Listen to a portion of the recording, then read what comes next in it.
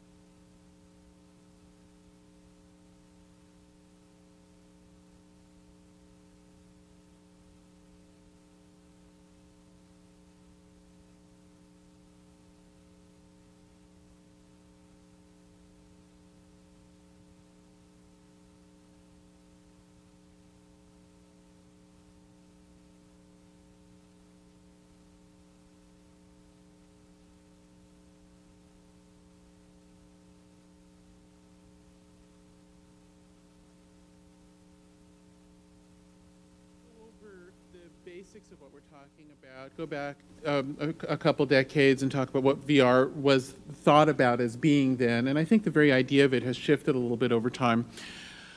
Uh, then I'm going to go through my list. I want to compare to an earlier list I'd forgotten about when you asked the question, which was by a guy named Ivan Sutherland, which is very interesting to look at, and that's from uh, decades earlier still. Um, and then talk a little bit about prospects and where this is going. So first of all, if we go back 20 years, what was all, what was all this fuss about back then? Now, um, the term virtual reality um, is a play on an earlier term that was made up by a guy named Ivan Sutherland, which was virtual world. Now, by the who, who, anybody here who hasn't heard of Ivan Sutherland? Just admit it if you haven't. It's all right. All right. Okay, cool. So Ivan Sutherland is one of the important computer scientists. He invented computer graphics, and he invented really the idea of a, user a graphical user interface as well. Um, he's uh, one of the really fundamental thinkers in the foundation of computer science. He's in the generation, like the very first generation that made up computers was Turing, von Neumann, Shannon, uh, Wiener, if you know who those people are, I don't know, but that's, they, they made up the abstractions that were, allowed us to make these uh, uh, these sort of um, general purpose machines, except they never quite work right. So they figured out how to get us to that point. and then Ivan was part of the next generation who figured out, well, what would these things actually look like? And so he started computer graphics, and then some other people started artificial intelligence, and some other people started databases and so forth. So there's a, he's part of that second generation that made up the particulars of what a computer would be. He's really a smart guy. Uh, he's, he's, current, he's living in the valley here somewhere now. He's working in Sun Research on um, chips without clocks, where all the little pieces find each other asynchronously. That's his current research passion. Uh, so anyway, a long time ago, he so he, he did this this little uh, PhD project, a dissertation called Sketchpad, which a lot of people consider to be the greatest program ever written. Uh, and it, it was just this one little program, and in it he invented the world of computer graphics, and he, he invented the idea of user interfaces, and all this uh, uh, visual programming was in there, all this amazing stuff. It's very much worth seeing. There's some videos of it you can find on the web.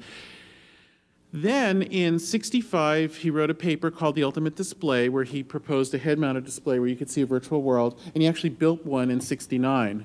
Uh, sort of a dangerous one. It was called the Sword of Damocles by some people because there's this big heavy thing hanging over your head. But he made it, and he wrote um, he wrote his own list, a little bit like mine, which I I just did a Google search to find uh, I, to find a copy of it. And here's somebody from Georgia Tech who made a paraphrased list of them. Um, and uh, the original was in Datamation 1966. And so just search for Ivan Sutherland, Google 10 unsolved problems, and you can find you can find it. It's been reprinted a lot.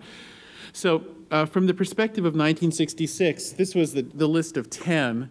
I made it 11 in honor of Spinal Tap. Does everybody get that joke? if, you don't, if you don't get the joke, raise your hand. Okay, in, there's a movie called Spinal Tap, which is a parody of heavy metal bands, and the guitarist has an amp that turns all the way to 11 to give him that extra ump versus other guitarists. And somebody says, well, why don't you just set it so that 10 is louder? said, but, but 11 is more. So anyway, so uh, uh, so um, the reason mine's 11 actually is that in the first, I, I did a top 10 like a Letterman list in the answer to, to Tom's first email, and then I thought of another one in conversation, so it became 11 and became Spinal Tapish. Anyway, this is a this is uh, somebody at Georgia Tech's paraphrasing of Ivan Sutherland's unsolved problems in computer graphics and user interface from 1966, and. Uh, Um, some of them are kind of solved, and some of them are just moot, and some of them we don't have a clue about.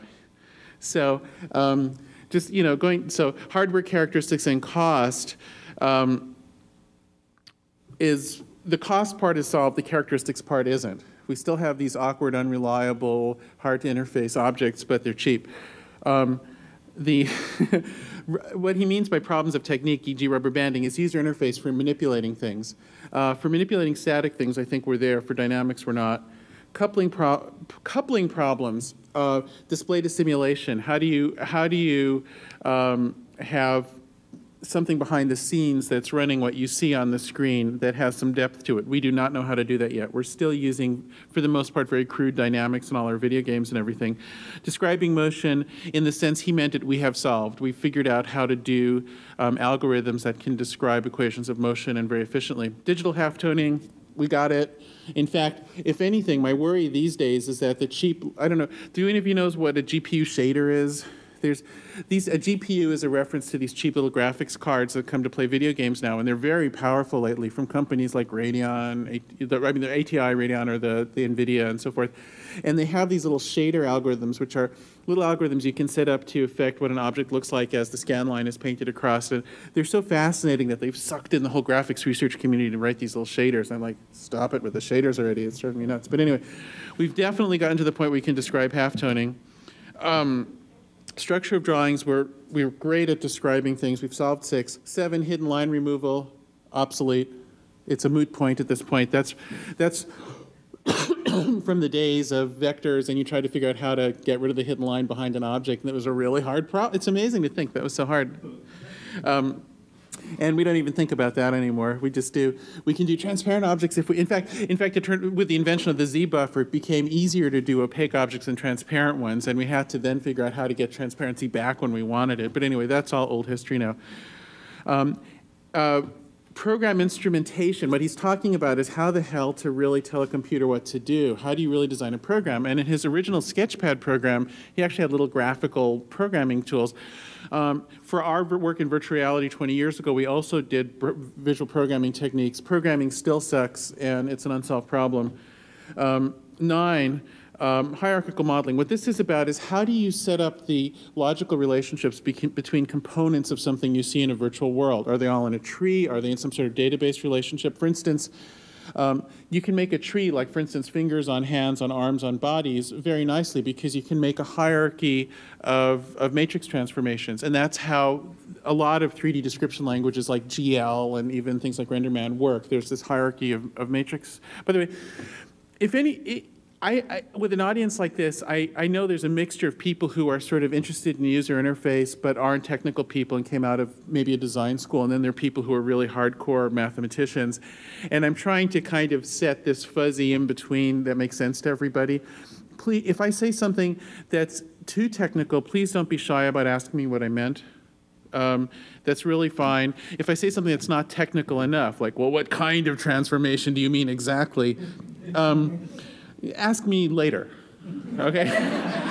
All right. Because I'll tell you, but I, you know, maybe it's, it, I have a feeling this is sort of a mixed crowd, but, you know, there are a lot of civilians present. So, um, uh, so this hierarchical model modeling thing is not solved. You know, we know how to do trees. We can do some things that aren't trees, but we really haven't gotten our figured that out. And then working with abstractions, what's funny is in Ivan's world from 1966, these different categories uh, might not seem different to us today. And honestly, I don't understand what this this 10 means from this person's redaction of it, and I don't remember the original, so I'll just leave that as a mystery. Anyway, um, I'll bring up my 11 here. Um, and I'll just, I guess only nine will fit on the screen. I don't, I'm not going to bother with trying to change the font or anything. Um, now, uh, first of all, just let's define virtual reality so we can talk about what is or isn't present. The, the term virtual reality was supposed to be a play on what Ivan Sutherland had called the thing he saw through the first head-mounted display he made. So he called that a virtual world, which is interesting. The term virtual um, had a lot of play in the scientific world because, for instance, physicists were already talking about virtual particles, something that's as if it were there, even though in some sense it isn't. And so he said, well, we'll just make a whole virtual world out this thing he called the ultimate display. Now, um, what I was interested in is extending that into the world of social experience where there'd be more than one person at a time. And I thought the term reality would indicate that transfer from the focus on the environment with perhaps a single user to the social world of how people share and experience and perceive each other. So that, that was that use of the term reality. My colleagues at the time hated it. I remember one guy I worked with, Chuck Blanchard, saying, oh, it sounds like RV. It's like implying that all these retirees will be in virtual worlds because VR, you know. And I said, oh, well, you know, I can't think of anything better. And we all thought it, we all thought it was like a really bad, awkward term that nobody would use. And then it turned into this term of, you know, the standard term and this uh, term that's wildly misused in popular culture. So um, I don't know why exactly that happened, but it did. Uh, the, um, there are several different ways of thinking about virtual reality that are all useful and valid. Um, to people who are, to, who are trying to study human cognition, virtual reality is uh, instrumentation that tries to fool human cognition as a tool for understanding it. And that's um, an important stream of research and, and interesting. Um, it's interesting because it's shown time and time again what a moving target human cognition is.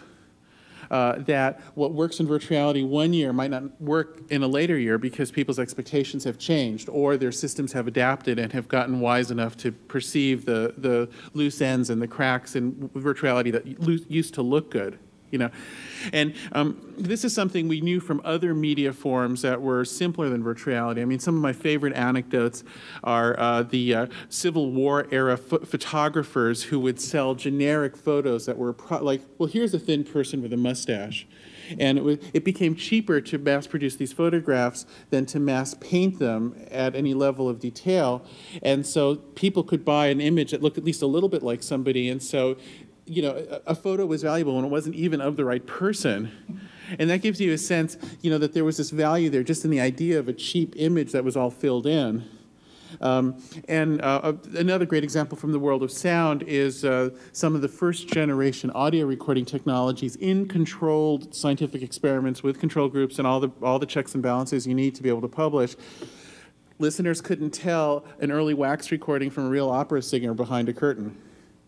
And so you can you can get it, and now you know you can go, Palo Alto being the town that it is, you can go and spend an arbitrarily large amount of money on arbitrarily good audio speakers, and there are people who learn to tell the difference. You know, so so um, human acuity is an adaptive system. It does adapt. It does change. Human cognition has fixed elements, but also has variable elements, and people who build virtuality systems have helped to find which are fixed and which are variable. So that's been that's one life of virtuality. Now, but that also implies something important about a second definition of virtual reality, which is for people who are interested in user interfaces, you don't have to get it perfect to call it virtual reality. All you have to do is fool the human nervous system. All, you know, I mean, it's still hard.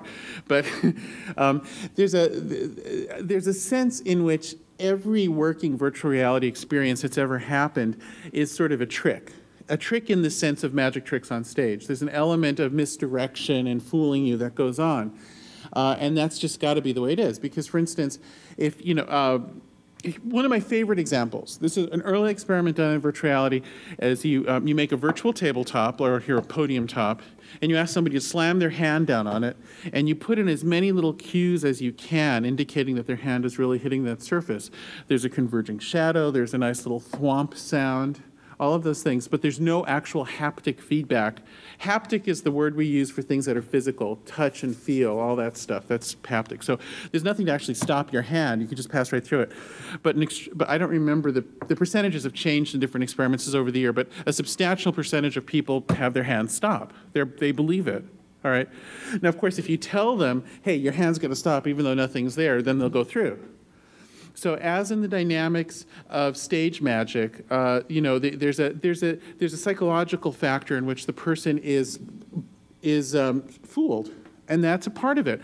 But of course, what you realize is there's a continuum between those that trickery that makes virtual reality interfaces work and the trickery that allows us to perceive the world around us as real anytime. And, and the reason there's a continuum is because our sense organs aren't perfect. So just in order to have this room, which is real, so far as I know, feel real, your brain has to cover up mistakes in your sensory system in exactly the same way that it had to invent this blockage when you're moving your hand down.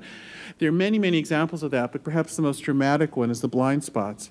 Uh, the way our retina works, um, because evolution screwed up, unlike, say, with the octopus where it got it right, um, we have, when the optic nerve comes through, there's a hole. So you're blind you're blind in these pretty big holes in each retina, and they're like pretty close to the front. They're like about here for me, one for each eye.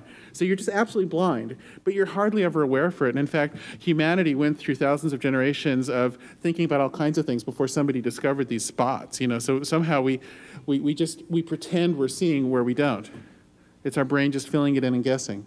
And it's exactly that kind of adaptation. I mean, that one's more hardwired because it's been around for so long. But even so, there's a continuum between that sort of covering up for flaws in our in our in our uh, senses, and the kinds of tricks that allow virtual reality to feel real.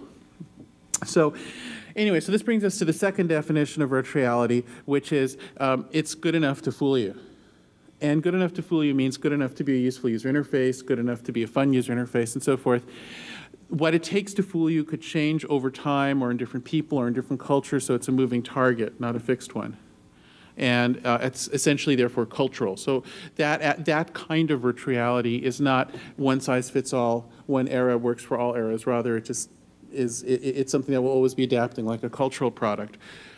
Now, this leads to a question which goes back many decades now, which is could you make perfect virtual reality? I mean, like, what if you just do, you, you hire some cognitive scientists and you measure the acuity of every aspect of human perception. You write down the numbers.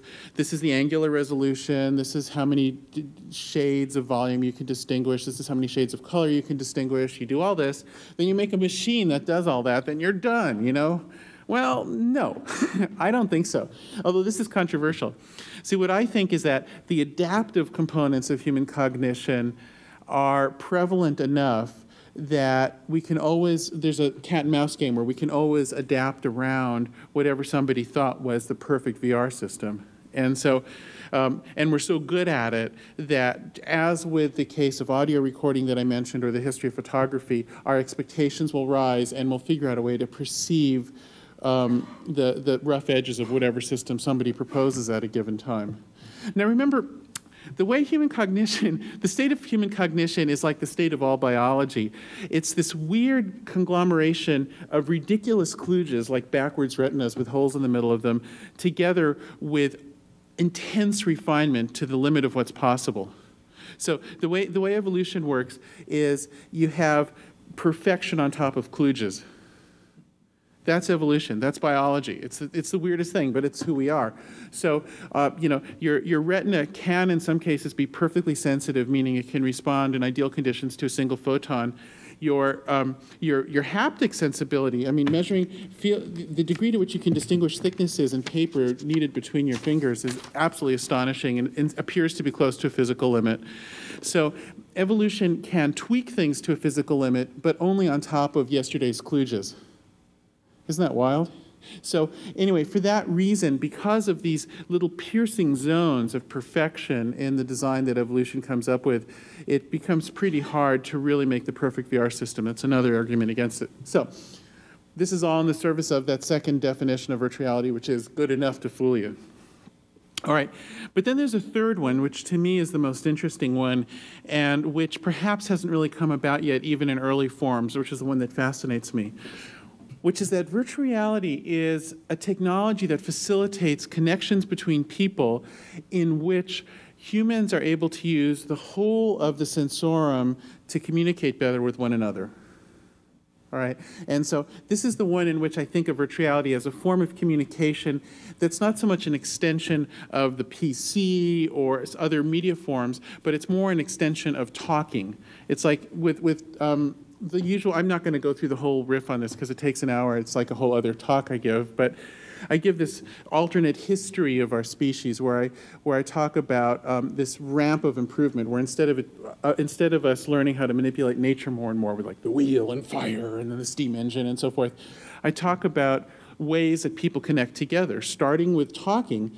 The great thing about talking is that it leverages the one little part of the universe that you can move as fast as you think and feel which is your mouth and your hands to some, you know, if you're, if you're sign language. Those are the only parts of the universe you can move as fast as you think and feel. Everything else takes more time.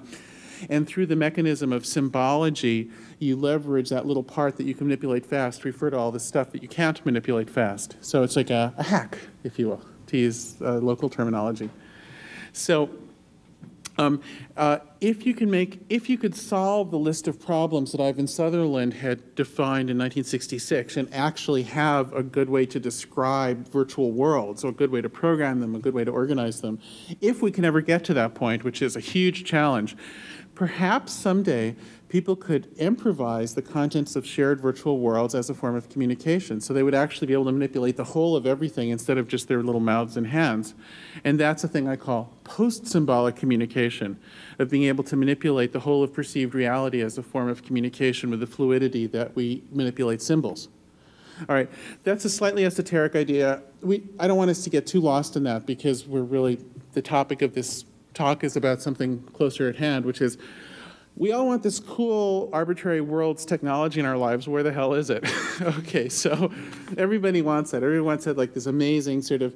So I think the longing that people feel is for some. It's like sort of the psychedelic thing where you can experience these dramatic, different worlds, and it's and it's like a. So this. Um, I remember the, the first uh, Wall Street Journal front page story on virtual reality had this headline right over the top saying, Electronic LSD latest thing from Silicon Valley. Like, oh no, oh God, these guys. So, um, so, but anyway, that's the longing is for like this, this sort of intense, very exotic kind of experience.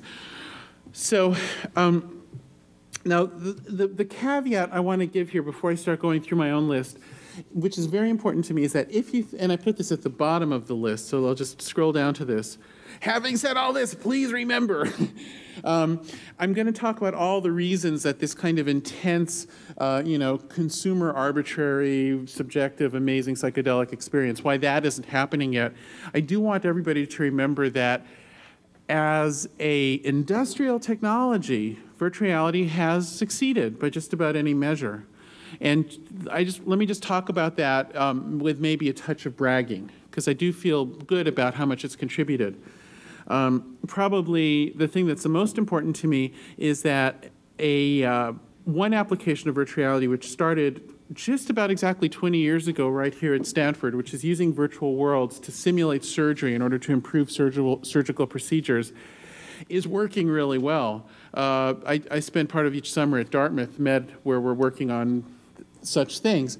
And um, we have, uh, we're, we're working in the thousands of cases with patients who are simulated in advance of surgical procedures in order to improve outcomes, and we can demonstrate substantial outcome improvements. And so this thing is working, and I'm very excited about it.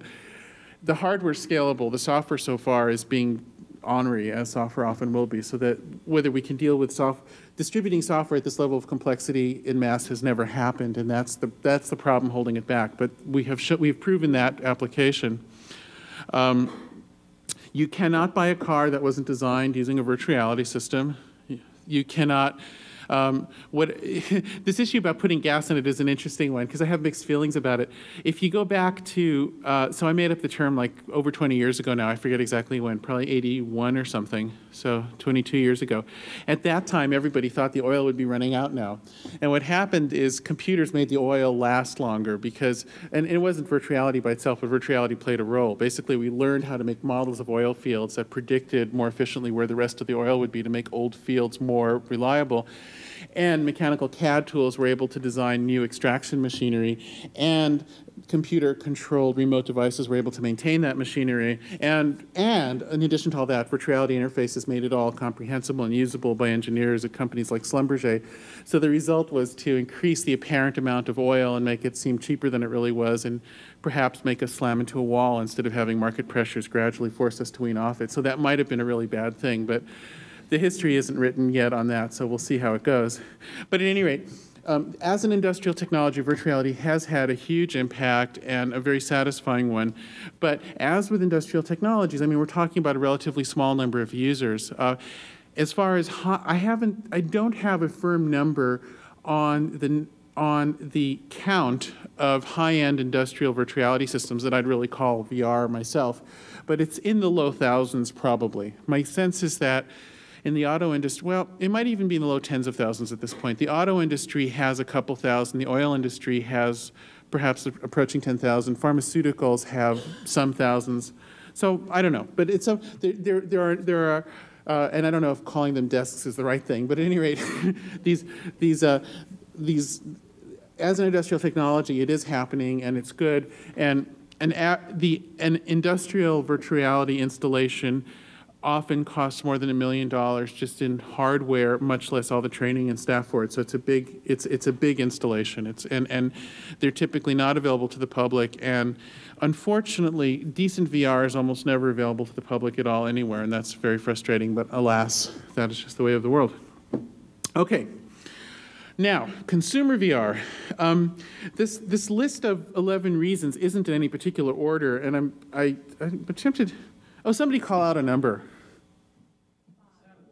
I heard five first, so let's see what five is. Interface components still need better screens. Yeah. So here's the deal with this. Um, VR is highly dependent on being able to reuse components that someone else needs a lot of so that they can get cheap enough. And so the screens are a great example of that. Um, if, you, if you want to do goggle style VR, you have to have screens that are small enough and light enough that you could stick them on your head, and they have to have tremendous resolution because, of course, it's being spread out over a wide field of view. So let's say a K by K screen might look perfectly sharp if it's taking up a very small portion of your field of view on a monitor outside of you, but if you're if you're wrapping it around your whole field of view, the pixels get kind of fat. So you need substantially more, perhaps as a general rule of thumb, a magnitude up from what you'd want on a desktop um, displays that could meet the needs of VR are buildable today. And in fact, there's some niche markets that, that can afford them. Um, and uh, so, for instance, uh, Kaiser makes some military head mounts where what they do is they, they very carefully combine a bunch of little screens together to, in a mosaic to make a big screen that's suitable for widescreen VR. But it's, just a, it's a very expensive device. It's an esoteric device, and it's not going to be created in mass. So what's the problem? Well, it's weird. You know, what's happening now is that Moore's law has this ugly underbelly, which is that uh, even as component costs go down, the investment costs in facilities to bring those prices down goes up. So, you know, the price per chip can go down, but the price to bring up a new chip facility goes up. And the same thing is true for displays. And so you have, you have to place these ever larger bets to tool up to make the next the next uh, step on Moore's law come about. And so therefore, there's a sort of a negative effect of Moore's law in that the people who make these investments in the new, to tool the new manufacturing have to, by the nature of the situation, get kind of conservative. Um, and for a lot of, like for, for central processing units, it's not so bad because they are really pretty general devices. But for some other components, it's been a bit unfortunate. So two examples are just finally when some of the basics of LCD technology kind of got good enough that we're all like ready for these little screens you really want, the bigger market is to, is to make big flat screens. So everybody's tooling for those because they want to replace CRTs, and that seems like a more sure bet. I can't blame them for it, but it's kind of a shame. Another great example is the blue LED. You know, we, we waited for decades for the damn blue LED because then you could do all these tricks with displays. Like you could, since LEDs can switch so fast, you can have a very small number of LEDs that are reflected through a moving component or some sort of thing like that and create the illusion of a large display. And we always had red and green, but not blue. So somebody in Japan came up with blue, and then instead of really tooling up to make them so we could build displays with them and improving them, everybody said, no, no, no, let's just push it to ultraviolet because then we can use it for higher density data retrieval in, in, in optical devices. So, there, so the data retrieval market seemed more important than the display market. So we keep on like, you know, pay attention to us, please. but you know, the, it just turns out that uh, as it happens, there have been these other market pulls that have required these big investments. So so that's the dynamic behind the lack of the components that we really want. Um, the, the technologies currently exist to make um, a display that I think would make us all happy. As you remember my argument before, it wouldn't be perfect because I believe that it, we're, we're chasing a moving target with human perception. But we definitely have the technology now that we did not have 20 years ago to make us happy. It's just that the capital is being diverted to more certain bets. So we're still waiting for those components. It's got to happen, you know. That's and um, so that's five. All right, give me another number. Did one or three happen first? What do you think? Two. okay. I, I appear to be dealing with humans. Well, let's see what three is. Um, three, expensive data content. Yeah, okay, so this is a good one. All right, so you go back to the, the dawn of personal computers, and somebody said, hey, I'll make, a, I'll make a, a word processor. And the first, as I remember it anyway, the first personal computer word processor was something called Electric Pencil on some 6502 machine. Anybody remember that? Yeah, so, but the thing about it is that that would become useful. All you have to do is start writing a little memo and ta-da, it's useful. And the first, the early spreadsheets were useful even with just a few cells filled in, you could do little things. VR doesn't become useful until you've specified the world, as Ivan Sutherland pointed out in his 10 reasons that I started with. So you have to have this enormous labor to enter, you know, to get data up to the threshold where you care about it. You can't just enter a few little things this was very painfully clear in the 80s when a zillion, well, hundreds of universities started VR labs. And you'd visit some, some university and say, hey, come to our VR center. We're all excited. We spent all this money. We hired faculty. And look at our rotating cube. and you know, again and again, you'd see these sort of either reusing the same data sets over and over again, the sort of teapot syndrome, or does everybody get that? I don't know. Anyway, or um, or you see the damn rotating cube, like no more cubes. Don't don't you know? I just I just had like this this. Um, I, I really wanted to ban the rotating cube for a while. The, the teapot is more appealing. I kind of like the teapot, but um, it's just hard, you know, it's hard data to make. And what, what typically happens is by the time you've just gotten the VR thing to work at all, the budget's gone and everybody's exhausted, and so you just have energy left to make the cube. So the data. Uh, now, what's, what's, what's happened since then that's changed things is data acquisition from reality has improved a lot. So now, like um, volumetric data acquisition in medicine has improved enormously. We have a, we have a, you know, a crush of volumetric data from MRI devices. Um, we have a lot of um, three-dimensional data from satellites of the world. We have a lot of data from camera arrays of just uh, human scale reality that's three-dimensional and all sorts of other devices. So there's like all this raw data. So now there's a lot of real world data that arrives and then also, there's just been enough use of, of hand-operated modelers that there are enough models out there on the web, and there's companies that sell catalogs of little models, like cars and what have you. So there's getting to be a lot of static 3D data. But unfortunately, that isn't enough, because to be in a virtual world, it ought to do something. It's got to respond. So if all you care about is static stuff, there's getting to be more of it dynamics, like models that actually do something, there's still no agreed way to distribute them. Well, I'll get to, that's actually a different reason. But we still, we still have the same problem that there's just that making the data useful, just to get so that the whole thing becomes useful, is much more labor intensive than for any other style of user interface. There we go. What was the was one the other number there? Or shall I, I'll start again. Give me another number. I think I heard four first. Too many charlatans. Okay, so here maybe I'm being a little nasty, but the thing is, um, a lot of art, a lot of the stuff, so um, this weird thing happened to me in the early 80s where I ended up with a company without meaning to. And, and the story, this is absolutely true. I, some of my stuff was on the cover of an issue of Scientific American in like 83 or 84 or something. Thank you. And uh, somebody, some, I got this call from somebody who's from one of the venture capital companies in town saying, hey, you need investment. And I was saying, I do? And suddenly there was this company, and I was utterly unprepared. I was, I was like a ridiculous CEO. I had absolutely no idea what to do. But at any rate, we had one of these like classic Silicon Valley ridiculous startups with hippie kids, and nobody, and just it was just bizarre. But at any rate, um, the thing is, our, our early products were funky. They were unreliable. We were, we, none of us had a background in manufacturing, and we had, we had a lot of learning to do to figure out how to make something like a glove that would actually last in the field, and it was, it was kind of painful. But we never sort of pretended that we were what we weren't. Like I would never place one of these gloves out for public use and pretend it would work because it was really not at that point. But there were all these other people, at least four or five, that said, "Hey, we'll make money with this stuff." And they showed up in malls with like these things called VR with like helmets and, and gloves and these sort of very simple experiences. And it was just premature. It was just a it was just an inappropriate thing. And they would charge a buck a minute. And again and again, I would talk to people, oh, yeah, we went to the mall to see virtual reality. It sucked. oh. So it was a problem. And um, I think that phase is kind of over now. Um, I mean, these days, if people know about virtual reality at all, they probably know about it from these movies where they've been given like insane expectations, like The Matrix or something. But at least they think it's cool, so that's better. Uh, okay, next number. One. Let's see what one is. Um, Gates envy. Yeah, yeah. Do you ever wake up in the morning with this burning desire to sell inadequate software and make billions of dollars? Does it just like grip you? Say, I could sell crap and make a fortune.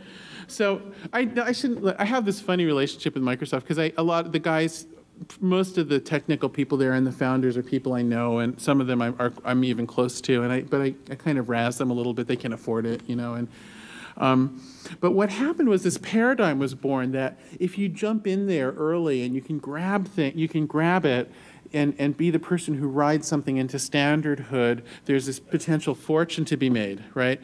And that doesn't work with virtual reality. You know, just, because as I was pointing out before, like just entering the data is hard, well, like just writing the software is really hard. It's not like a word processor or a spreadsheet. It's really, it involves an intersection of understanding issues in human cognition and understanding how to model physical systems with dynamics and understanding how to model constraints and, and uh, it, like there are all these things that are very hard. I mean, there's a sophisticated thing. I don't claim to understand how to do it. All I, all I can claim at this point is I've been beaten up enough that I can respect the problems, you know, and I think think, um, and and I think that's actually saying a lot because this is actually this is really hard stuff, and so. Um, I, I, named two here that I felt were inadequate, and I feel a little bad because I know the people who did these two, and I don't. I in a way, I feel a bit bad dissing them in public. They should be able to defend themselves if I'm going to do that. But VRML was a great example where a bunch of people jumped in and said, hey, it'll be like HTML, but for virtual reality, and we're going to be famous and what. And it was like just junk. You couldn't do anything with it. It was the rotating cube software,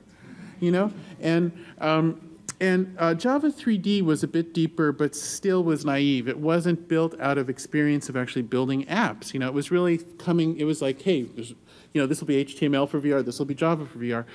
Um, unfortunately, all the people who actually built serious apps were so exhausted by the time they were done, they never got tools, you know, as a side effect from the experience.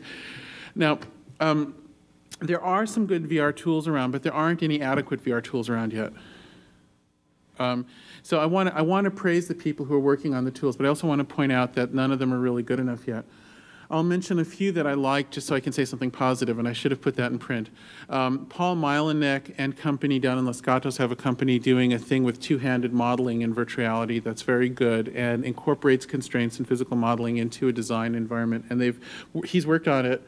Paul's worked on it for a long. I can't remember the first time I started working with him, but it's going back to the 80s, and he's he's really clawed his way up to the point of being able to write good software. I bet you're going to ask, what's it called? Uh, I'll do a Google search so I can find. I'll, I'll, find it for you before the end of the night. I'm sorry I don't remember the name of the product or the company, but it's a startup in, in Los Gatos. They're doing a very good job on one aspect of things. Um, on uh, general VR stuff, um, at, at, at, my old company VPL in the 80s, we had a tool called Body Electric, which is a graphical da data flow oriented programming environment that's optimized for um, interactions between 3D objects for things like in, like uh, hierarchical relationship and uh, and object uh, contact detection and dealing with things about haptics and special display considerations. I still use it because nothing else can do what it does, even though it's incredibly antiquated in many ways. Um, I, am desperately wanting better software. Um, what's urgent, though, is that people who want to develop for VR have to pay the dues of actually building something complicated in VR that works first so they can appreciate the problems. You can't build a tool for this stuff unless you've really done a major project in it with real users, real data. Then you know what you're talking about. So if any of you want to get into it, I encourage you, I'll help you. Be prepared for work, okay? this is not an HTML editor. Um, all right, next number. Two. Two. Slow computers. Yeah, you know, this is a funny thing. We've had an exemption from Moore's Law in graphics. I don't know who decided that. Well, I guess the market sort of did. But um, the top level performance you could get in real time 3D graphics, which is what you need for this, hasn't budged in five years. It's gotten cheaper, but it hasn't budged. So five years ago, you could buy this refrigerator from SGI or from some of its competitors like Evans and Sutherland, um, named for the same Sutherland, uh, um, or a few others. Hewlett Packard has some stuff, and you could you you'd spend a hundred thousand bucks on the refrigerator, plug it in, and you got graphics, and it was about like what you can get from a top end card these days in a PC, but the, the ceiling hasn't budged. Um, that's crazy. No, I didn't see that one coming you know, I thought that we were going to have a nice Moore's Law and 3D graphics, but we didn't. We, we, hit, uh, we hit a flat zone that, that was ex really extended. We, for a whole generation, everything in real-time 3D has been based on a fixed set of performance expectations. That's extremely unusual in the history of computer science. It's very rare, and I'm afraid it's had a negative effect on a whole generation of people who've come up in school during this period and have had their imaginations in a way limited by that. Um, we're about to burst through that finally. I mean, it's like it's it's taken an unbelievably long time. There's two mechanisms that are going to help us burst through that particular plateau. One is just that the game cards are getting better, although. Uh, it's a bit tricky there too because it's not entirely clear that the market pressures are driving those companies in the right direction for, for for VR. For instance, a lot of them are investing in putting things like TV tuners on the card or something instead of really pushing the, um, the scene complexity. Um, now, um, all of the major workstation vendors that used to sell refrigerators are selling new refrigerators where they put a bunch of these game cards together and try to aggregate them in some way. And they all have different strategies, and um, none of that is really quite performing in the way you'd want just yet, but I think a lot of them are serious. So um, Evans and Sutherland has one, HP has one, um, Silicon Graphics has one, and there's some startups doing it too. So hopefully some of that's going to come together pretty soon. Um, and uh, I've, I'm trying to, I'm, I'm a little involved in the SGI one to try to get it uh, to start to perform, and I'm, I'm kind of hopeful that that'll work. Um, but it's funny, you know, like the, the game card companies are in such intense competition with each other that they can't spare even the second to do one little thing to make it easier for people to do these aggregations. So the people, the, the people trying to do the new refrigerators built out of game cards are sort of pulling teeth, just trying to work around the quirks of the game cards that are really just intended to, you know, be the choice of the new Dell or whatever. So uh, that's two. Next number. Yeah. Why, why technically did have the computers not gotten fast enough? Oh, that's a great question. What happened? Well, you know, there are different, there are different opinions about that. Um, it appears to be a little bit more of an economic phenomenon than a technical phenomenon. Um, and specifically, it's, it's, it's the econom, economics of employment that the, the, there was a population of people who just liked engineering uh, the, the uh, gra- uh, graphics hardware and, and doing ASICs for doing matrix computations and fill line algorithms and stuff. And a lot of them just got better jobs at the game card companies. And it's not so much that the market went away from the, I, I think the market demand would have been there for next generations of workstation companies, but the labor force couldn't fill the niches to do both. And so the labor force was drawn to the card companies and, and uh, the people who like to do that were depleted in the workstation companies. So that was my observation at the time.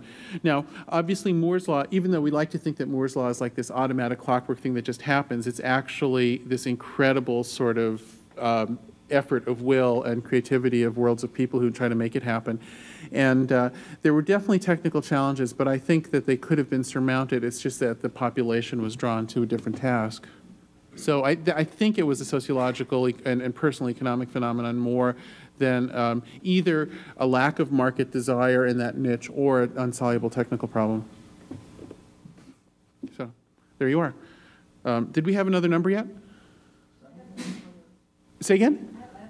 Oh, sure. So I think that, um, just sort of building up off of uh, Benjamin's comment, uh, I think that game companies are doing a lot to actually further virtual reality, but they're not looking at the graphics so much as the networking aspect. So trying to get these very large virtual reality objects. So as, as that problem gets solved, graphics will come back. Well, I'm not aware of any of the video game companies working on that problem in a way that I think will go anywhere. I mean, essentially what's happening, but let me first, let me praise one, somebody. Okay, so um, let me say somebody who I think is doing a good job before I trash people so I can be positive, okay? Because I know it's, it's so easy to trash and so hard. So let me, somebody doing good work on the problem of how to run a lot of people with virtual worlds connected at the same time is Philip Rosedale, who's the retired chief technology officer from Real Networks, and he started as a labor of love this shared virtual world company called Linden Labs, and they have a little shared world called Second Life, and they're really trying to do it. The people who are doing most of most of the shared virtual world stuff is based on the on an inadequate model that was developed for for military simulation, but I believe is not adequate for military simulation, in which you have what I call low semantic depth modeling. And so what that means is that you have large numbers of objects, such as large numbers of players and large numbers of objects in a 3D database, but the number of things that they can do or that can happen to them is very small. So think something can move, it can shoot, it can die, but that's it. Or there, maybe there's 12 things or 15 things, but there aren't 10,000 things that can happen. And so you really want that to have semantic depth. And that's, I think, if you, if you want to get beyond the point and shoot paradigm, um, which means you have some broader range of human expression happening in the thing, or some broader range of modeling or training or testing or something. If you want to have more value in the thing, you have to get beyond that.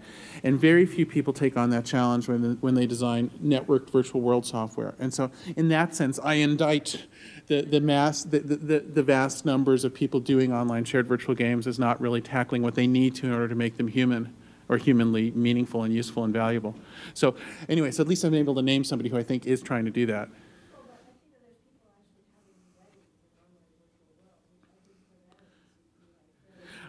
I wonder what the rate of success of those weddings is compared to ones in physical reality. No, it might be better. You know, I, I, it's a, I wonder.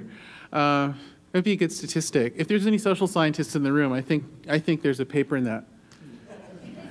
Um, next number? Seven. Uh, you know, in a way, I talked about this already. This is the problem of human acuity being so good. So there's a thing, I was talking about how evolution optimizes perfectly, but on top of ridiculous kludges. So um, you can get away with a lot more in almost any other product except for virtual reality. you know, um, you can uh, if people can distance themselves away from a television screen until it looks good and place it in their life so it looks good. But if it's like in front of your eye, you're stuck with it. You know, and there's a sense in which you have more freedom to adapt yourself to the flaws of every single other product in the world except for a virtual reality system. So this human acuity thing is a big challenge. Enough of that. Next number. I mean, what's, what's left? Oh, 11 is hiding. Isn't that typical of it? Boy. Yeah, this is the, the classic economic dilemma of people interested in doing VR non industrially, which is you have to make the most expensive media device of all of them, and it's only good for one person at a time. That, that's just nasty, isn't it? But that's the way it is. It's just a really nasty fact of life for virtuality. So you got, um, you know, I mean, in a way, there's nothing more to say beyond that. But, uh, you know, you, you go to somebody and you say, well, how much is this entertainment device going to cost? A quarter million dollars. Wow, that's a lot. Well, at least you can, at least I can plow 500 people at a time through it. No, only one. Ah!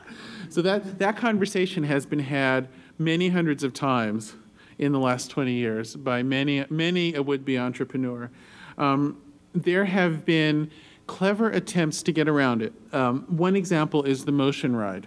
So that's been there are various people who do those a lot of people have gotten into it and so that the idea there is that you put a bunch of people maybe like a dozen or something on, on a platform with with some kind of mechanical ability to move around sometimes hydraulic or whatever there's different technologies then you surround them with with big visuals and you blow cold air on them and you build this experience and and that's become a, a stock thing at trade shows and there's some people who do it wonderfully um, and i'm oh God, I don't know if it's I'm getting older, but I'm forgetting the name of my friend who's who does the who's the guy who did the special effects for 2001. Help. Trumbull, Doug Trumbull. So, who I actually know, but I'm so spacey I can't remember it. So, Doug, Doug probably does the, the best ones. He's really worked like crazy to make these things good and work on the you know the details of how the motion feels and all. And um, so that's one way to get around it. But even there, the throughput is pretty low. And the economics of that kind of ride entirely depend on psychological manipulation of people waiting online to use it. Right?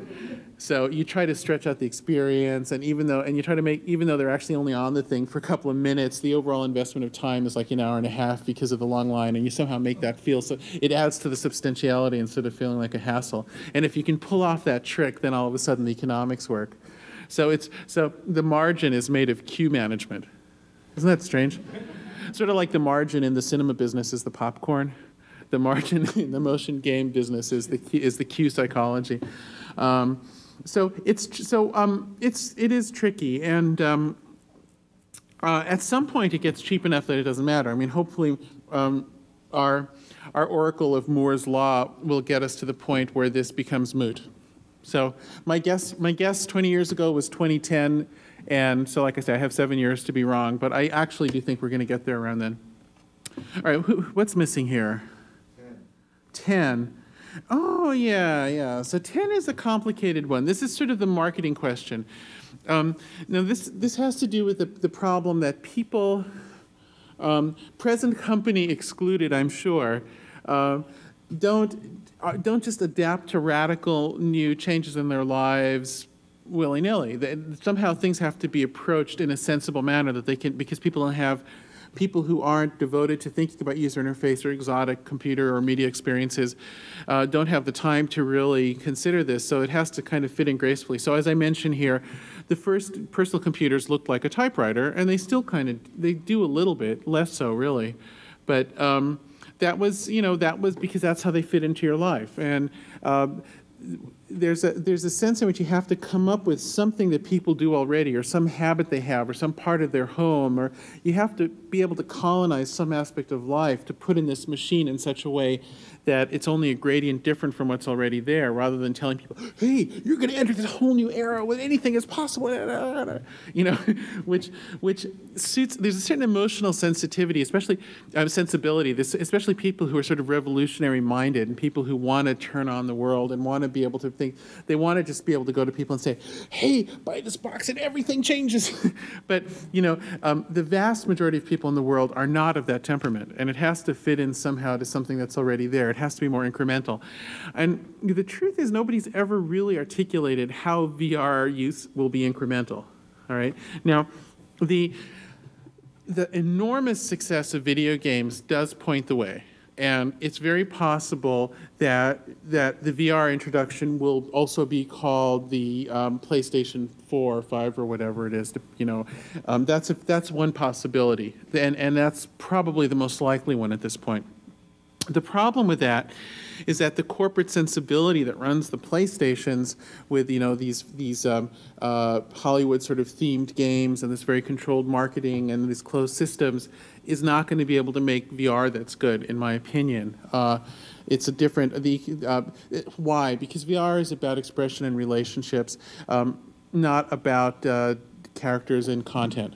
Uh, now, why is that true? I'll just give you my little slogan for this. The one thing that's more powerful and valuable in media than celebrity is vanity. You know, VR is not about Arnold Schwarzenegger, it's about you. You're, you're the star in the, in the virtual world. And so this notion that there's some studio that owns these contents that are the thing you're paying for is going to go away, and it'll be much more a communication thing. That's where the value is centered. That just seems to me plainly so. So this sort of centrally created and controlled media model that's been running PlayStation-like products since the uh, original Atari probably can't extend into social virtual reality. And um, I could be wrong about that. Uh, so far, I feel that I feel more and more inclined to believe that point of view, though. For instance, you look at the incredible craze of online gaming, but you look at the failure, the relative failure of Sims Online, which is an attempt to meld online gaming with a central media model.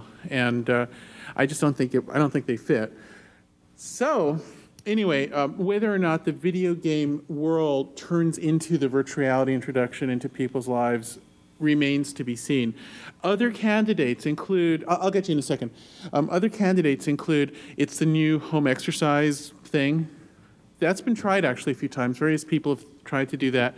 Um, maybe it's the new home education thing. It's the way to tutor your kid. Maybe it's the new home uh, home extent um, adult education thing. It's how you learn music.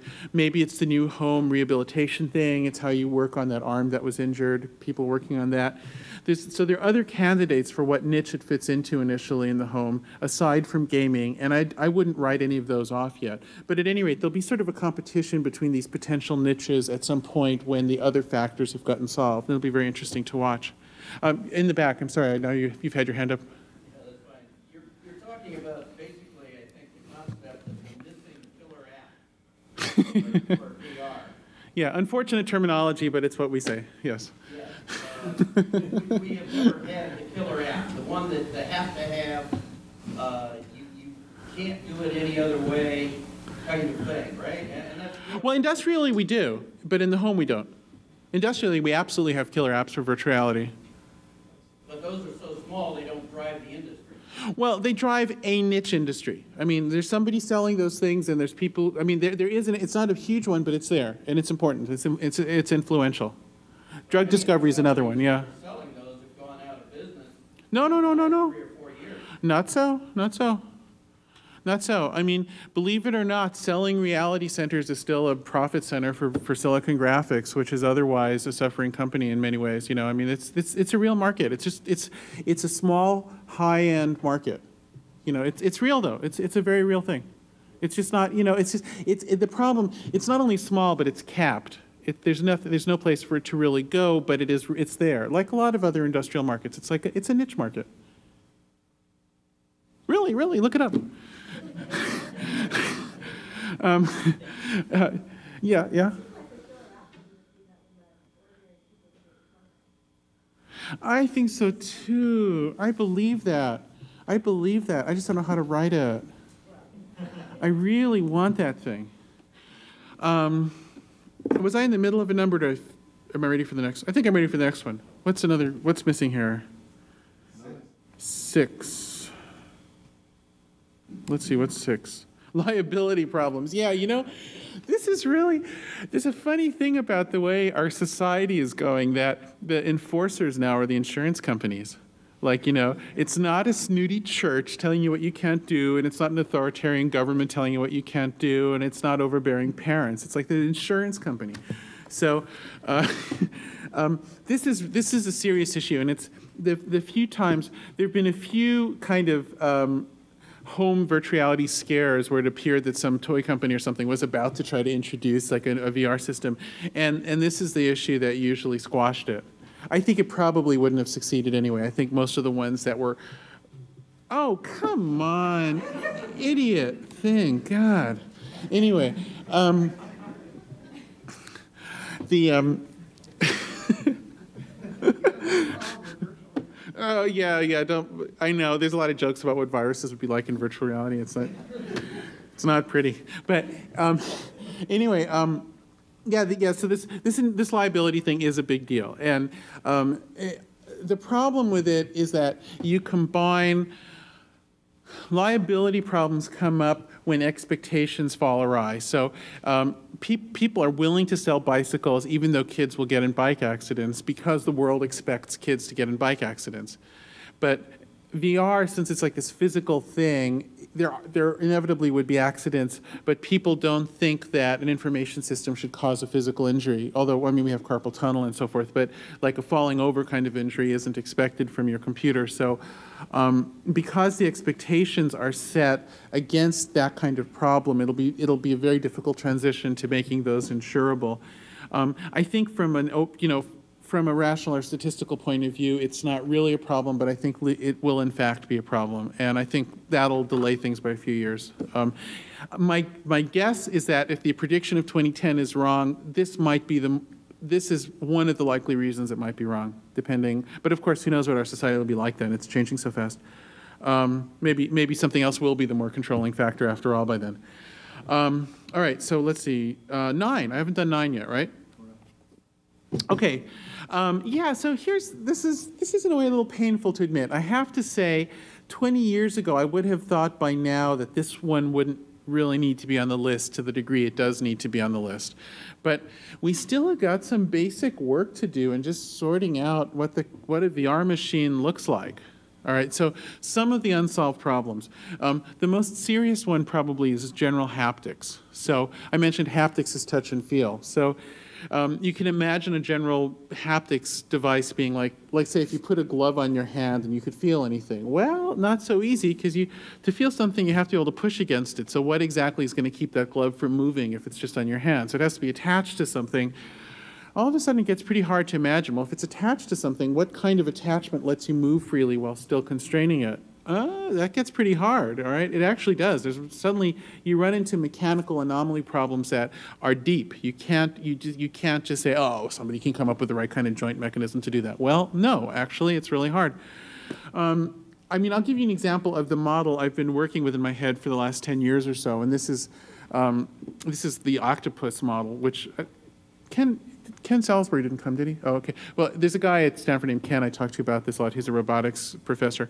Um, so there's this octopus. I, I like cephalopods a lot, and um, there's an octopus called the mimic octopus that can change shape for, for to, to achieve camouflage.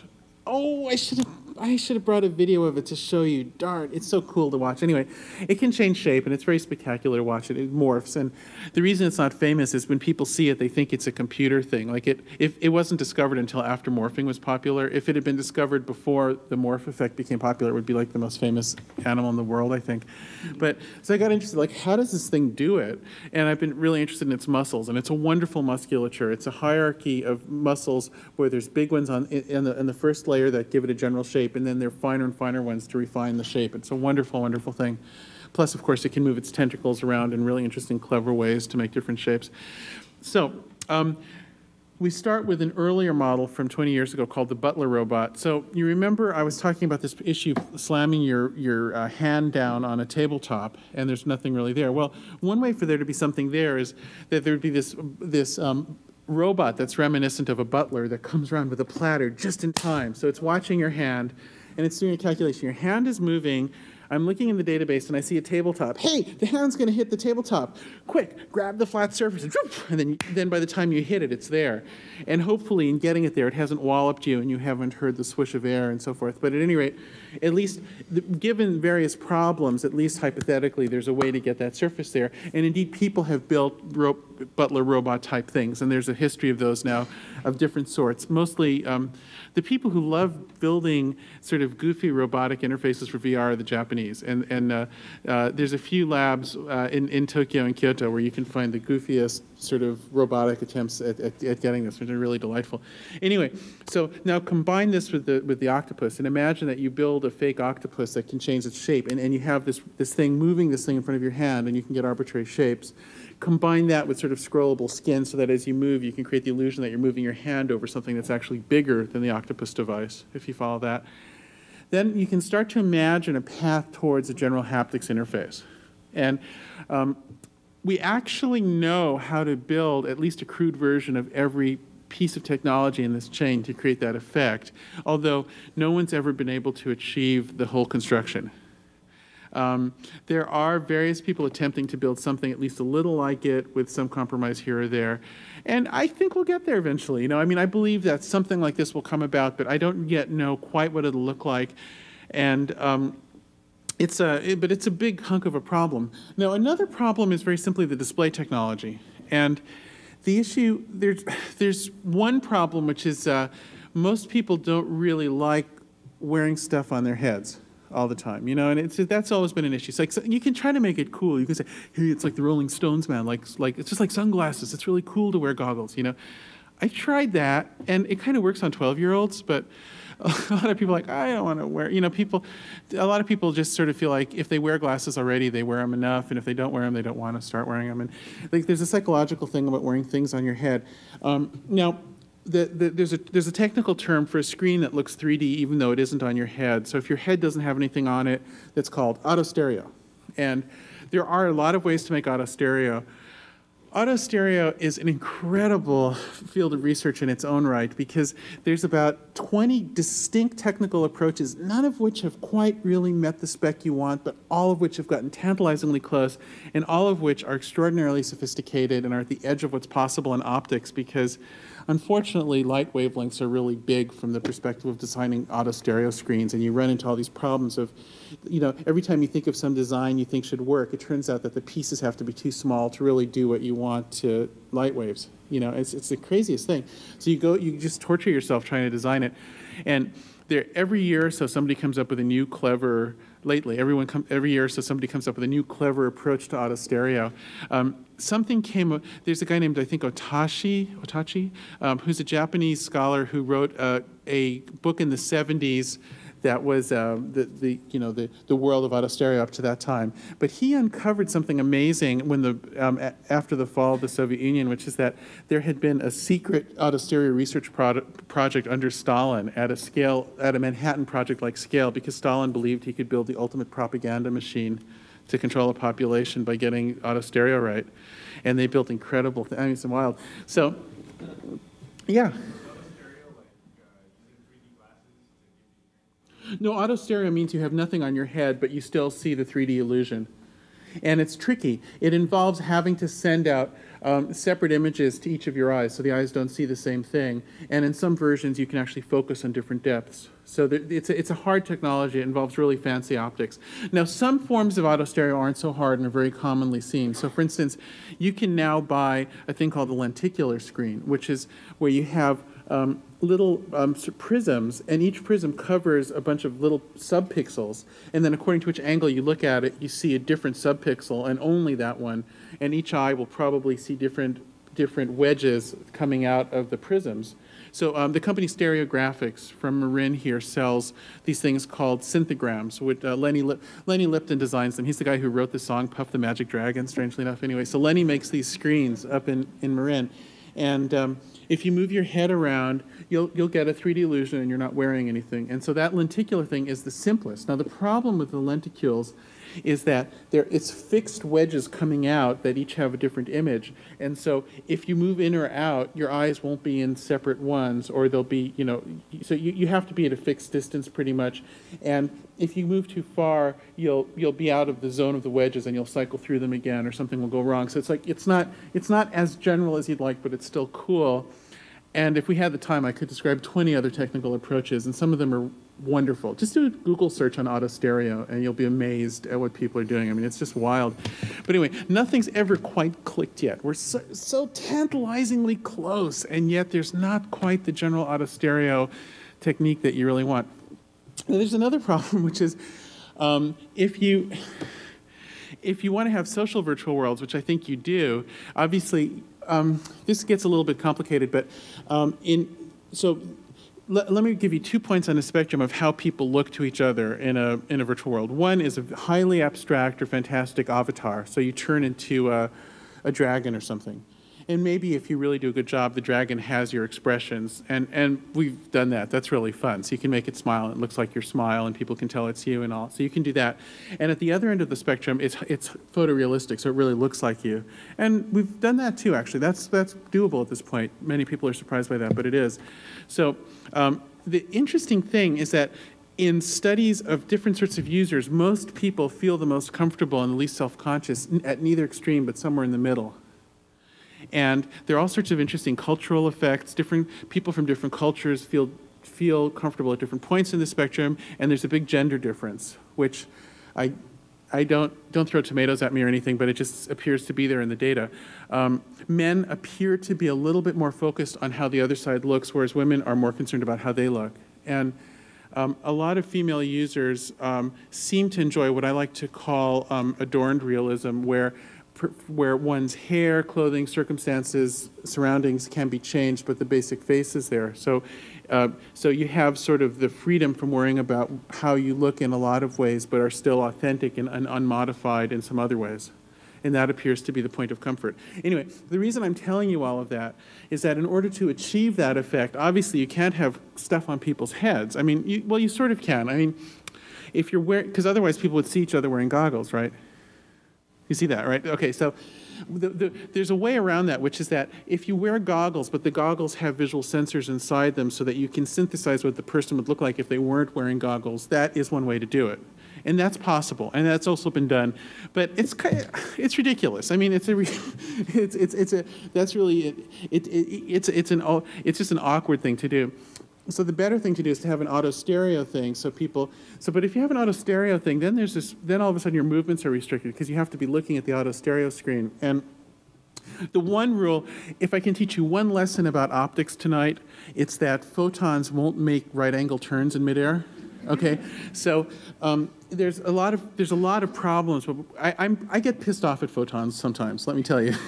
You know i just really wish they would do some things that they refuse to do all right? I just think they're just honorary little things.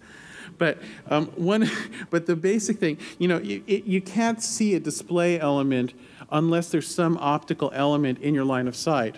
You can't, you can't have some, you know, this is, I mean, DARPA has funded people who claim that they could make some hologram appear in the middle of somewhere. And the only way you can do that if, is if there's, like, you could have some particle of dust or a water droplet or some smoke or something. But there has to be something that the photon hits. You can't have a photon come like that.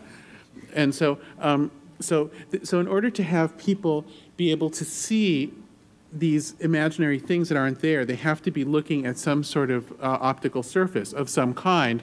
So you can't just sort of walk around without unencumbered in reality and just see things floating there. It's just not doable. You have to, now we, oh my God, have we gone to great lengths to try to create that illusion. For instance, um, there was this thing called the Teleimmersion Initiative, which was a bunch of schools trying to improve these illusions. And we did this one insane thing where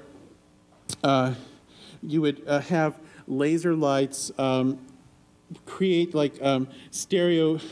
How did how this work?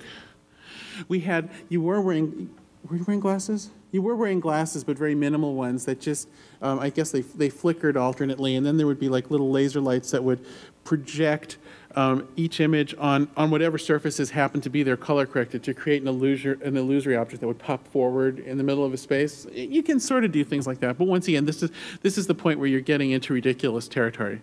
Um, yeah. It Isn't, isn't the idea of not wearing a headset uh, directly contradict the idea of having a haptic robot in the room with you? That's tricky. Um, there are ways.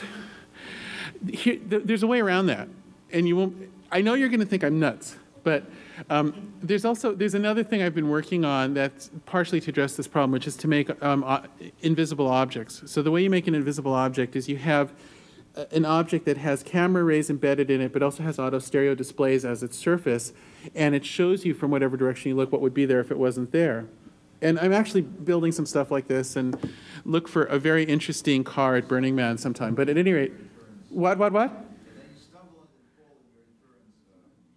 Yes, but the but when the insurance inspectors come, they won't be able to find me. um, so, so what you do is you have you have the haptic octopus that's there for you to touch, but it's also invisible in that sense, so it pretends not to be there. I don't know. Look, give me 20 years on that one, all right? that, but that's the sort of, believe it or not, that's the sort of thing we're talking about these days. I'm, I have no, like, the problem, it's a little bit like the auto stereo problem. A lot of these things, you can come up with a conceptual strategy, but it's at the limits of what's possible in engineering. And so you push that for a while to discover where the limit is, and then you adjust the strategy and find a better compromise. So it's a sort of a, I found that to solve these, these virtual reality interface problems, you have to do this sort of zigzag thing where first you, you, you come up with a crazy thing, and you actually try to build it just to sort of see where, where it breaks. And then based on that, you, come, you go to the side with a sort of a better approach, and then you get crazy again, and then gradually you can find some configuration that, that's possible. And I, I don't know, but anyway, the, the, the overall headline of this crazy discussion is just that we don't really know how to do haptics. We don't know how to do networked stereo yet. Um, the, both of those problems remain unsolved in terms of just basic configuration ideas, although they're promising leads and interesting hacks in both cases already. Yeah. About, um, is there any, Oh, just plugging it into the brain? All right, yeah, that's, that's a question that always comes up. And um, th- there is a great deal of work, mostly, at, mostly for prosthetics. And um, the state of the art in that work is very, very advanced for audio. Um, and there's some impressive um, direct, maybe let's say direct to brain is too dramatic to be accurate, but direct to central nervous system stimulation for the sense of hearing. For sight, there are examples of that, and even of spatial fields of, of uh, virtual light dots that have been created through simulation of the, of the visual cortex directly, and they're, they're, they're very impressive and important. Um, and so why, so why don't I just wait for those? Why am I fooling around with these crazy devices? It might very well turn out that some sort of direct brain interface is more practical than the crazy device angle. That's a possibility. Now, the reason I believe it's still worth it to play with the crazy devices is um, I, I do work in modeling the nervous system too, and um, and I've particularly worked with uh, neuroscientists studying vision, and that's been very helpful in some machine vision techniques that have been important to these things. And um, the more you work on that, the more you feel that while this is doable in a hypothetical sense, it's a really long haul. That now there are people who disagree. Like I mean, if you talk to Ray Kurzweil, he'll say there's going to be this, uh, all of these um, forces will start working together to create an acceleration of understanding of how to interface with the brain. So there'll be better data gathering and automated data analysis and AI programs that solve this problem and that problem. Then all of a sudden, one day, you know how to do it.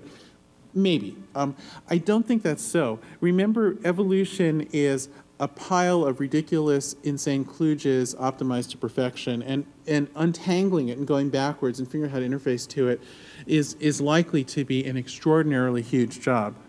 I mean, after all, remember, if it was easy to do, evolution would have just undone the kludges instead of optimizing the ridiculous kludges, right? So it's a, it's, it's, it's a, it's a hard, you have to climb up the energy landscape of the design space, and it's a huge climb. So I think it'll be really hard. That's my, that's my sense of it. And I don't think there's any way to, to, I don't think that Moore's law of computation is steep enough to make the climb over this other steep thing easy. I, I just think that it's an even harder thing. Um, so that's one thing. There's another thing, though, which I want to say, which is a bit more of a philosophical point, which is that um, the, uh, uh, the sense organs are the language of the brain. You know, the way the brain, the, the, the way the way the brain and the sense organs are not separate. I, and, and this is a, if when I give my intro to, this is different from my usual intro to virtuality talk. But when I give, like for a freshman class or something, I give my first intro to virtuality talk. I talk about the metaphors we use to understand the brain. And in our current era of having PCs and you can plug in your little USB webcam and your microphone, we tend to think of, a, of that as a metaphor for the brain. So you say, well, hey, the brain is like the CPU, and then you plug in the eyes, which are like cameras, you plug in the ears, which are like your microphone.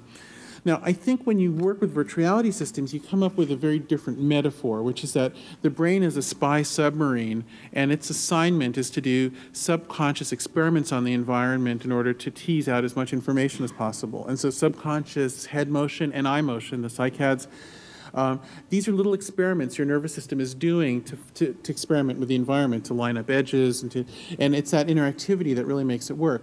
Now, the reason I'm saying that is that because that's the way your brain works, the particular nature of your sense organs created the patterning of your whole brain. It's not like your brain evolved as like this, you know, Intel processor awaiting something to be interfaced to. You had the sense organs, and the brain sort of grew on top of it. And so, um, in order to make sense of interfacing to the brain, you probably have to simulate the sense organs anyway. And then, as I, as if, if I do the if I do the conceptual exercise in my mind of fully simulating what an eye or an ear can do in, in, with head motions in a real environment, it's a very complicated thing. And I think about the crazy mechanisms I was talking about. As crazy as the mechanisms get, I still think they're less crazy. so that's my own path of thought around these things. It very well could turn out that a direct interface is more viable because these other things do really they do get insane but sometimes insane things work. I mean look inside a car you know. So i won't talk about these but anyway yeah. Oh, are we running out of time by the way? I know some people what time am i supposed to stop? 9.30 okay. All right. Well i'm started doing questions in the midst of it but yeah go ahead Possibilities of VR, but I guess one of the Oh, yeah, we can run mics to you. That's probably better. I don't know. Is this alive? Yeah, yeah. Okay, good. aspects of uh, VR, but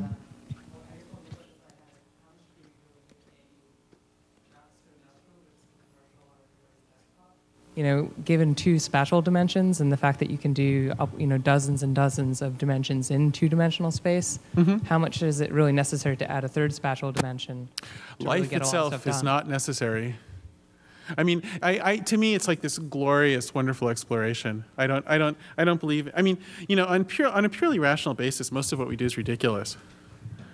I mean, you know, I, this to me is art. It's like beauty. Now, I mean, some of it we need. Like, I mean, there are people alive today because their surgeries were modeled and improved in virtual reality, and there was no other way to do it. So, yes, sometimes you need it.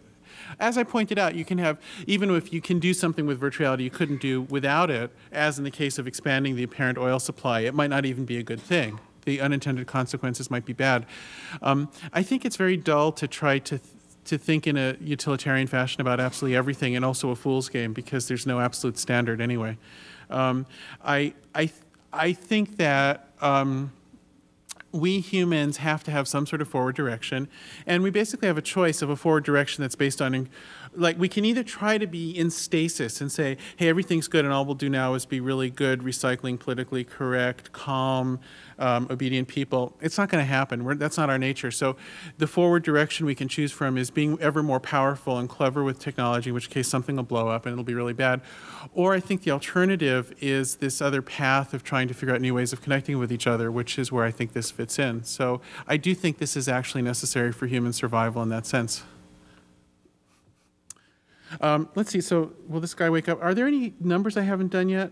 Um, expectations, basic idea, liability, charlatans, interface components, expensive data, slow computers, gates envy. Yeah, I guess I covered all 11. So, any other questions? Yeah. Just a comment. It's just, just, I mean, it was based upon a conversation that I had recently with a friend and. Sorry, sorry, It was I a can't- conversation about GPS, using GPS and. GPS and global positioning? GP, global positioning. Uh-huh. And that eventually f- planes will fly on point to point, shortest point. You know, there's so much echo, I'm afraid I can't make out your words. Yeah. Uh-huh.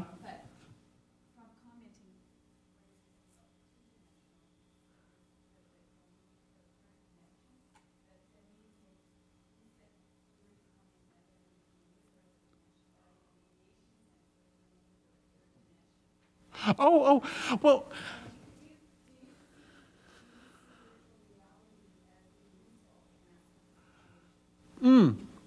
Okay. I, I mean, I answered the previous question not so much on the 2D versus 3D, but on sort of what I considered the more fundamental thing of just trying to expand interfaces to enhance beauty and depth of experience in general. Um, on the specifics of 2D versus 3D, human cognition is fundamentally 2.5D. Um, so neither fully 3D nor 2D nor only 2D is an accurate reflection of the most optimal um, state of interaction for humans.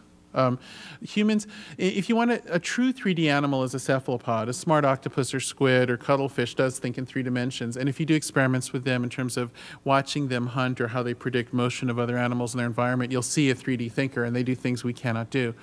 Um, what, um, but 2D is also not accurate for us. I mean, we are two and a half, we're depth map creatures. So we, we, we have within our brains some specific sort of two and a half D maps, the, the environment we're walking around on, the world in front of us, and also this one wrapped around us, uh, which has a specific place in the brain of things that are close to us, which is sort of a, a wrapped 2D thing. So um, if, if what you want is something that's the most human, you'd look at two and a half D.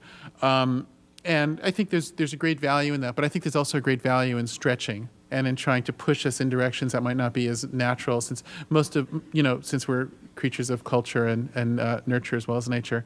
Um, and then as far as the specifics of aviation, virtual reality has played a significant role in air traffic control, and um, there's a local project run by a guy named Ron Reisman at NASA Ames in virtual reality interfaces for air traffic control. Um, and some of the innovations from that have found their way into widespread use, especially in the military. And it has been, I think it has been highly useful. It's also used to run harbors and all kinds of things. Um, I'm not sure if he would want me to. Add, Ron Reisman is the guy I was thinking of, but just look up air traffic control and virtual reality on Google. You have Google these days. You don't need me for this. Come on, it's 2003. All right, what? Uh huh.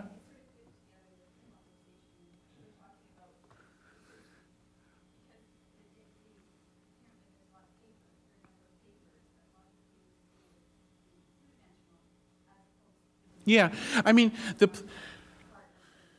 Yeah, the places where 3D is the only option are in uh, chemistry, in, in pharmaceuticals, in medicine, volumetric uh, medical data and surgical simulation, in um, in geology, oil field modeling, and, and um, earthquake understanding, and so forth.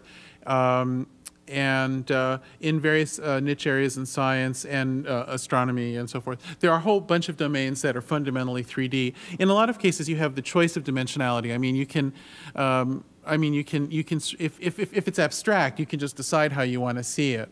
And as I say, in general, two and a half D is really the optimum for people. Um, let me take you, the closer one first, and then you after. So, yeah. Um, You mentioned the air control simulation. Uh huh. as a virtual reality uh, application.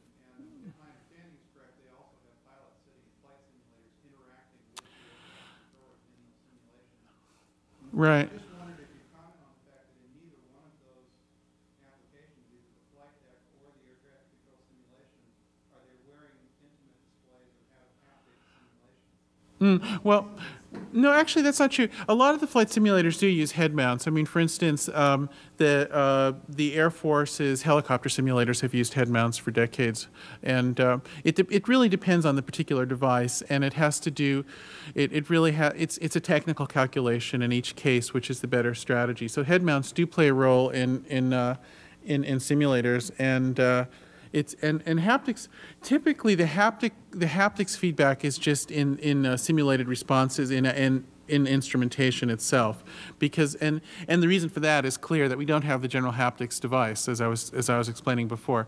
In the case of the display, out the window versus head mount is a technical calculation. In the case of flight simulators, it usually works out to be easier to do an out the window display, but often head mounts also play a role. And um, indeed, that's why I mentioned that the Kaiser um, product earlier. That's an example of one of many products that fulfill that particular market's need for head mounts, uh, because that's that's the market that can afford the fanciest ones. Absolutely. Yeah, one of the definitions of virtual reality I've, I've, I've proposed is a general purpose simulator as opposed to a special purpose one. That's a dividing line where uh, when you build a flight simulator, you know in advance what it'll be used for.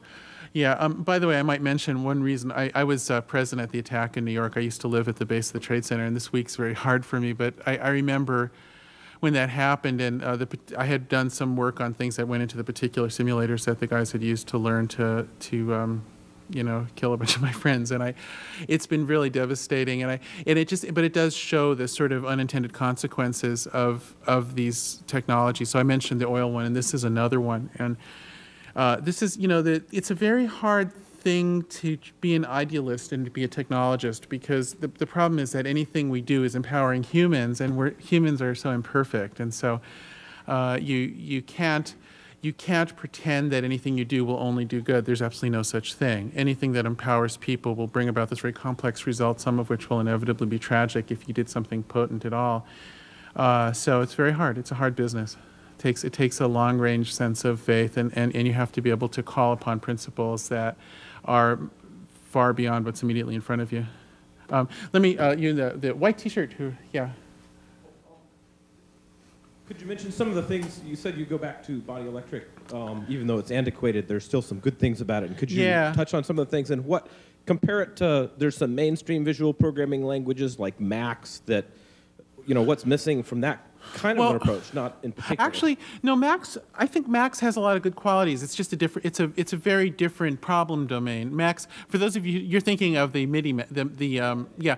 So Max is a tool that's a, a visual box and arrow data flow tool for music and sound, and it's a um, it works both in the domain of events, which unfortunately in music are MIDI events, and on the domain of uh, digital signal processing, where you can move waves around and do things to them, and and recently also in video processing.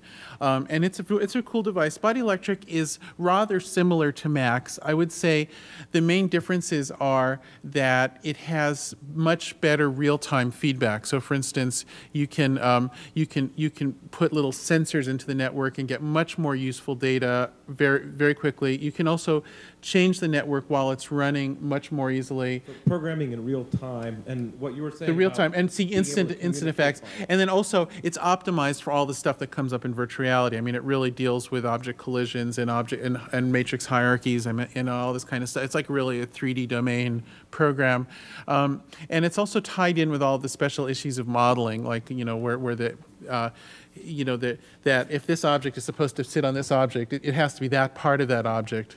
And you have to calc you know it's all these little all these just little simple things that are actually kind of hard to do. And and a lot of the 3d tools don't really do that. A lot of the 3d tools don't uh, get to that level. The the one that paul Mlyniec is doing does very well though. It's a it's a good one but Max, Max has the, the, there's people have done 3D extensions to Max, but they're at this sort of elemental level that's almost useless because they don't they don't acknowledge any of the properties of 3D objects that make them three dimensional in the way they interact with each other. Now, if you're the person who wrote that code, my apologies. I'm sorry.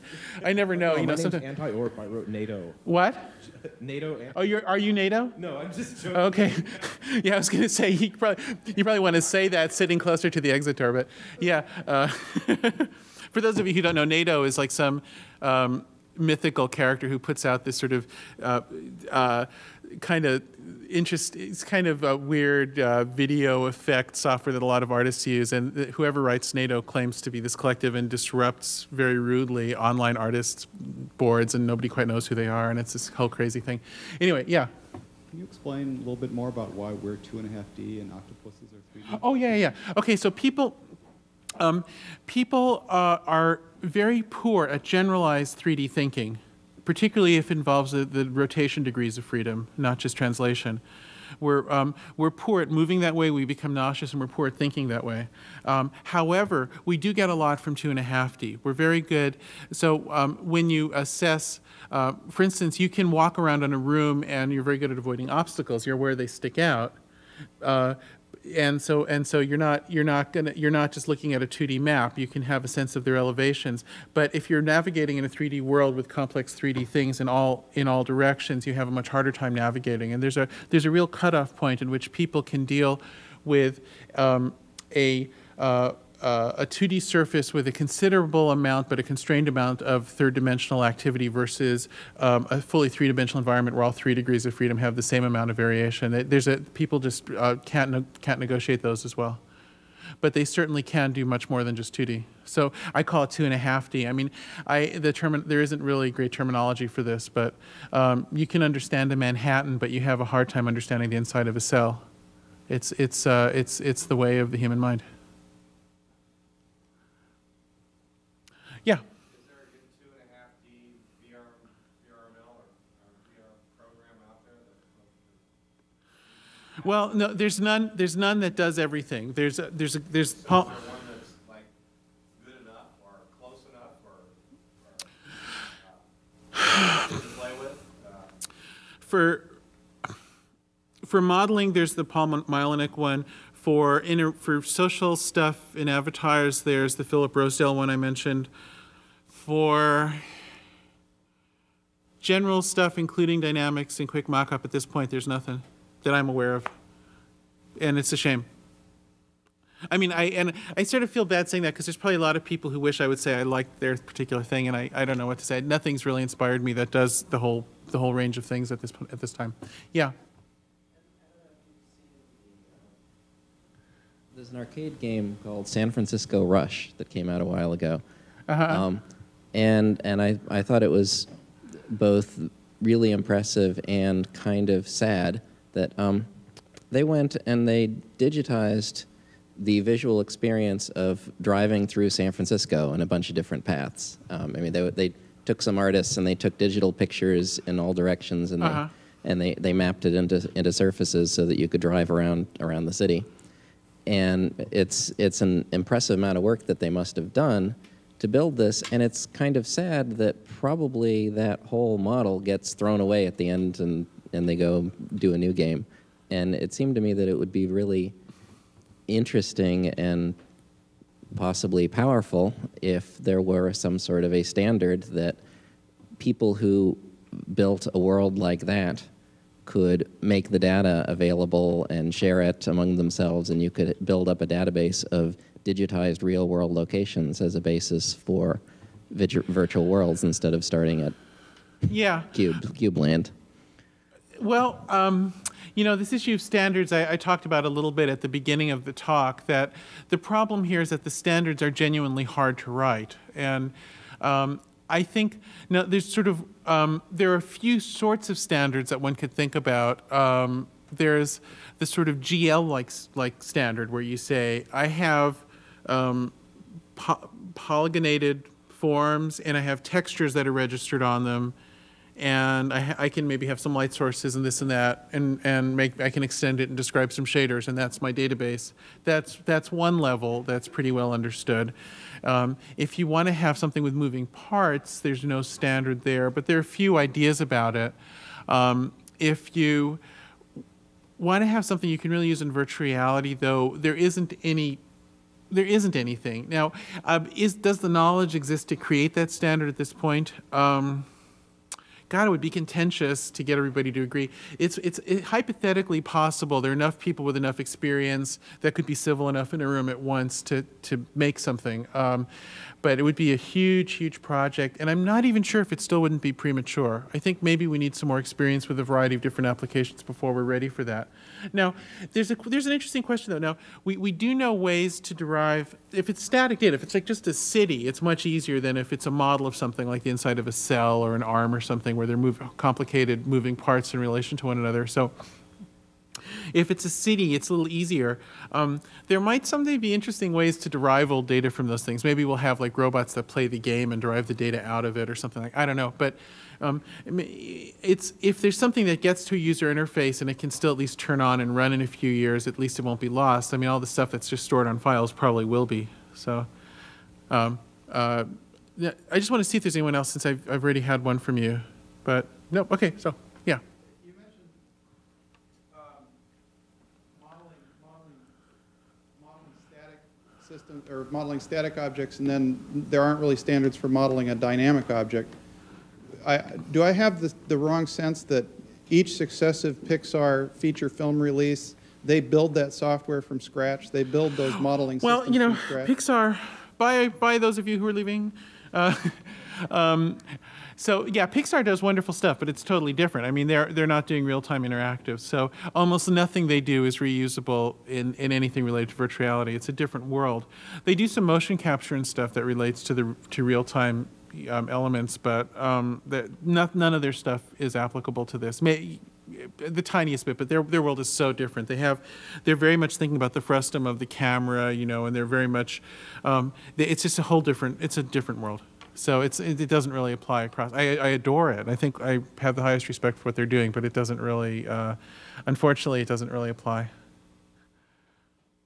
Have we reached a? Okay. Uh, ooh, what?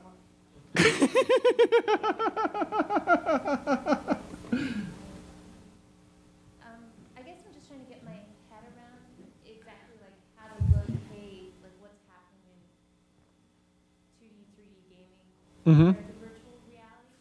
And so I guess I'm wondering if you could give me an example of the sorts of things, the sorts of data that would be in a standard for VR. Oh well, I think um, uh, I think the uh, acid test for a VR standard is the inside of a cell. It should be able to represent a cell dy- cell dynamics where you have um, uh, vast numbers of things interacting in vast numbers of ways, um, and uh, uh, that so to me that's the um, because the thing is it's computationally impossible to represent a cell from first principles even though it's hypothetically possible. So you'd have to be able to come up with like gross structures like this is my molecular representation rather than working from quantum field theory or something. So um, so uh, you you know that that's the acid test. I my se- my sense of the time frame in which humanity will know how to make that standard is a century in all seriousness. And so what we're going to have is a succession, a, a a succession of approximations until we get there. So some of the earlier signposts on the way would be, um, oh, the muscles in an arm, which we know how to simulate, but not in any standard way. So we can do it, but there's no way to represent it in a standard way right now. Um, so that would be a good one. That's something we can do, but not in a way that's transferable. One of the things that I always rant about at certain sorts of meetings is that there are, at this point, dozens of wonderful dynamic surgical simulations, each done by people who've committed their lives to maintaining the code in the basement of some medical school somewhere, including a number of local poor souls. Um, there's no example of any of those being used at all in any place other than their building of origin. No, that's I should say if it's only a teaching tool without predictive power, then they then they can be commercialized. And in fact, there's like there, there's a few companies that are selling training tools. Uh, but for something that's like a real like a tissue healing predictor or something, I've never seen one used in other than the medical school where it was made. So so you know we know how to make them, but we don't know how to make the standard for them. So that might be sort of like a good place to look for the next the next uh, plateau. Hey, since we're done with questions, I want to plug a book. Is that all right? And my, my I, I, if I had more commercial sensibility, I would have done it before all those people left. But anyway, this is the thing. It just came out yesterday. It's called The New Humanists, and it's, it's a bunch of people debating, including me, about the, the eternal cosmic issues, and it's kind of fun. So it's called The New Humanist. All right, that's it. Thank you so much.